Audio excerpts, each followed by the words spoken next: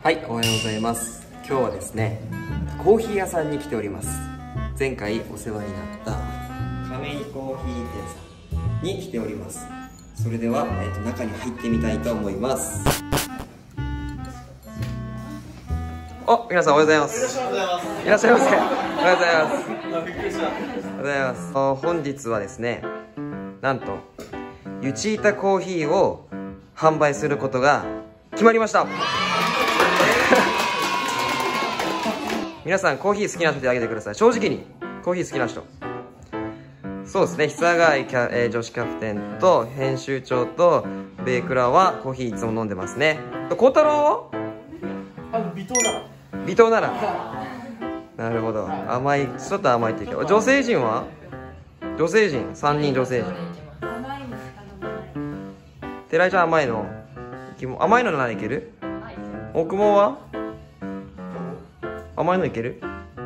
あんま見たことないけどね。でも今日はですね初心者といいますかコーヒーが苦手な方でも飲みやすいコーヒーを店主の竹森さんが、えー、紹介してくれるそうなのでそちらもちょっと飲んでいきたいと思います。今日みんなで自分たちがおすすめするコーヒーを決めて今から試飲します。何種類か試飲します。そしてみんなで相談して決めます。それでユチータコーヒーとして販売していきたいと思いますので皆さんしっかり今日はコーヒーを試飲して味をしっかり確かめてレポートしてください。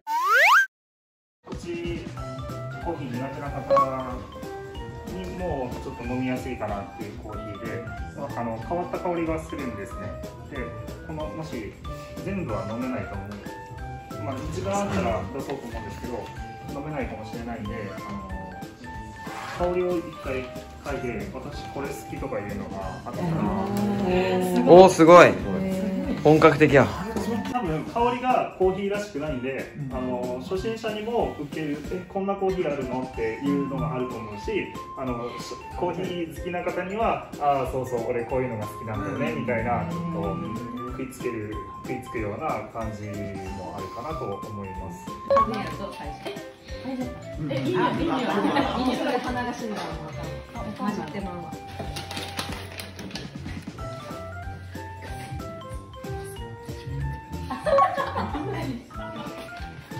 覚えました、え、覚えるんじゃないよ。直感でね。これは。ザクエチオピア。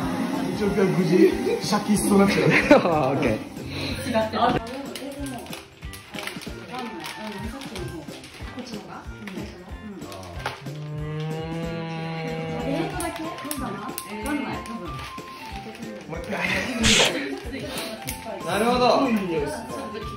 違うね。違う気がしますね。違うね。これは？えー、一つ熱いかもしれないんですけど、熱かったら二重にして使って。それ最後ですね。匂いから。ないね、これにない。どれでもない。さあ、いきいちこ。いきいちこいけるか？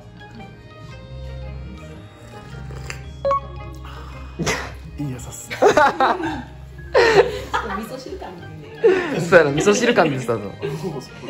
ドラちゃんどう？美味しいです。だと思った。ああ、美味しいわ。ああ、そうだね。あのー。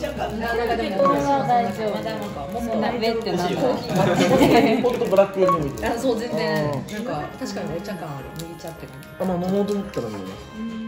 飲みやすい。そうですね。飲みやすいね。うん。苦い？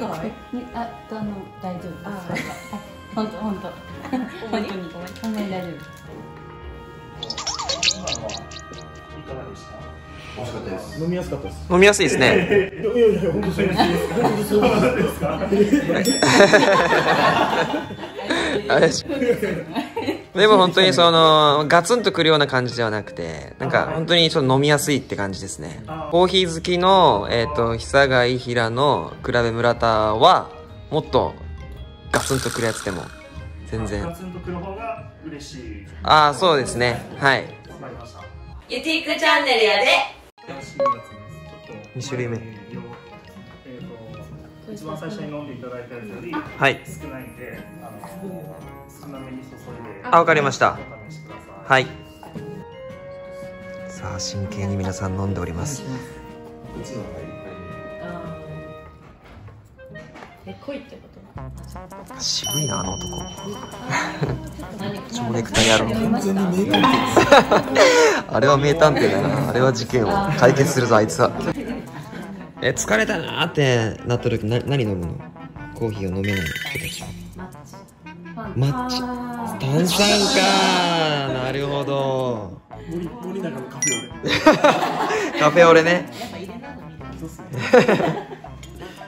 俺ら完全にコーヒーやな疲れたと思って。え？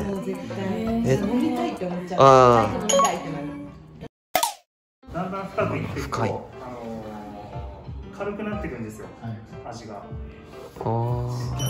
逆に。あそうなんですね深入りだから必ずしも苦いとか、はいはい。どっしりしてるとかっていうわけではなるほど。ないんです。はいなので、今の豆はちょっとどっしりさを少し出したかったんで、インドネシアの豆をブレンドしてるんです。でまあ深入りを使ったんですけど、まあ、深入りすぎると多分逆にこちら側の方は飲めなくなるまあそうですね確かに。その間を取って間を飲んだ感触からするともっと苦いというか深いはいやつがいいんだろうなと思ったんで、本当は片方だけ攻めればよかったんですけど両方まだ飲めるトライできるかなっていう感じで。ああなるほど。飲めたもん。ねまあ確かにそうかコーヒー漬けにも美味しかったし初心者にも飲めるような味と。マジか。多めにしてでもあれですね。そうですね。ピックのコーヒーチームからすると、はい。もっともっとくれっていう。あーなんかそんな感じですね。これ以上いけるもんですか？その。えーっとまあいいった方がいいですか？作ってちょっと濃いめのやつを。そうですね。その最後もしよければ。はいはい。そこに、えー、と最初に香りを楽しんでいただいてを少しアクセントで入れるってこともできるんですけどもすごいな何でもできるんだなコーヒー。しいやた単にあのー、えーと単に苦いのが濃いのが欲しいっていう感じでしたらもうそれなしであのい今2回目に飲んだやつももうちょっと濃い感じで突き詰めることもできるしそっちいただきます。その濃いだけ。そうですね。じゃあはい。はいわかりました。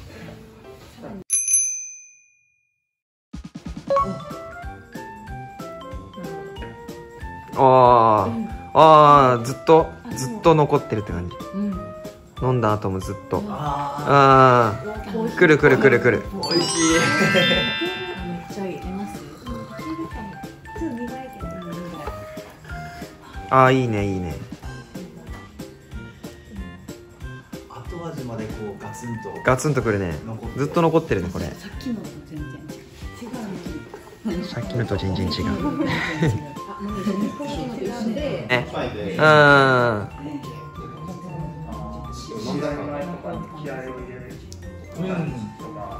まあでもそうですね。結構しうん朝いっぱいして社練習頑張ろうみたいな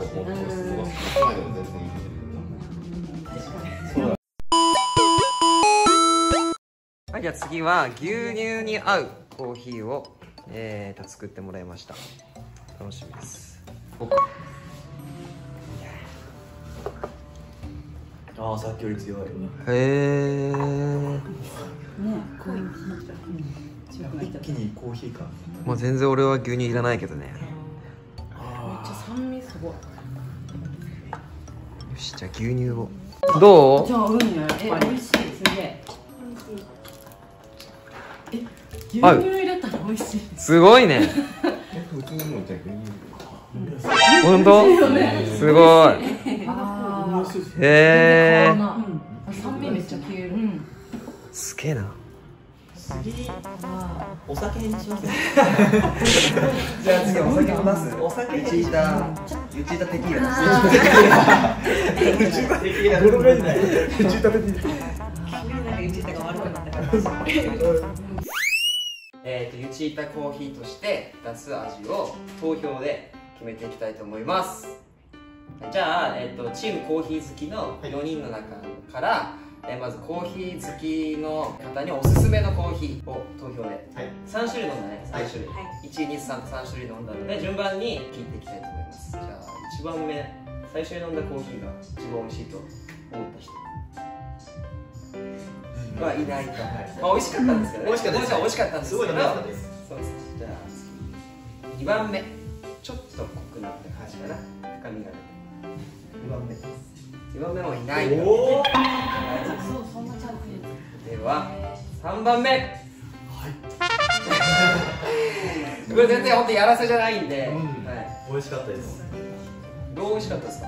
こう飲み応えっていうところもあるんですけど3番目が一番美味しかったですしさっきは多分会話にもあったんですけど一杯でこう満足できるというか幸せな気分になれるなと思うので。い。や多分本当にその朝一っていうか練習例えば練習の前に飲んでちょっと目覚めさせるというか、はい。まあ、逆にちょっとね酸欠ぐらいの練習をして死んだ後ぐらいにちょっと落ち着いた後に飲んで回復する的な そんな飲み方もできるか。なとということでまず一つはこの4人が選んだコーヒー。深みがあるっていう感じかな、はい。深みがある、えーコーヒーを選びました。それを一つえー商品としてユチータコーヒーとして出していきたいと思います。次はこの苦手というかあんまり普段飲まないこの4人なんですけどもその4人でも美味しく飲めるコーヒーを4つ4つかな？えー、っと出してもらったのでその中で1つ決めたいと思います。まあコーヒー苦手という方もこれを機に1つね4人がおすすめするコーヒーを手に取ってみていただけたらと思います。あ次3番目が牛乳に合うコーヒーかな？じゃあ3番目のコーヒーが美味しかったという人。3人あいや。なるほどなるほど。あじゃあこれも全員同じですね。じゃあ3番目の牛乳に合うコーヒーがやっぱり全員が美味しいと思ったというわけで。でもこれは確かにね私たちも飲んだけど牛乳混ぜると美味しかったですね。全然違う。はい。ということでじゃあもう一つはじゃあその、え3番目のコーヒーでよろしいですか？はい。はい。ユティックチャンネルです。それでは2つえ販売していきたいと思いますであのオンラインショップを開設しましたので概要欄にリンク貼ってありますのでそこから購入していただけると嬉しいです。ユチータコーヒーですでオンラインショップの名前も、えー、とユチータユチータ商店です。ででこれからこれからあのユチータのいろんなオリジナルグッズをどんどん販売していきたいと思いますのでぜひ皆さんよろしくお願いします。はい